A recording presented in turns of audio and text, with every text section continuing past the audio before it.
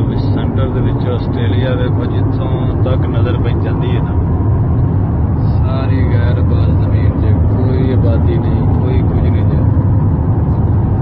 ਤਿੰਨ ਤਿੰਨ ਚਾਰ 400 ਕਿਲੋਮੀਟਰ ਬਾਅਦ ਕੋਈ ਛੋਟਾ ਜਿਹਾ ਪਿੰਡ ਆਉਂਦਾ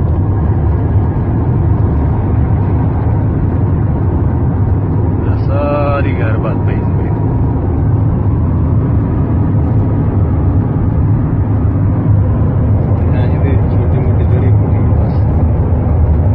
रस्ता जंगल नहीं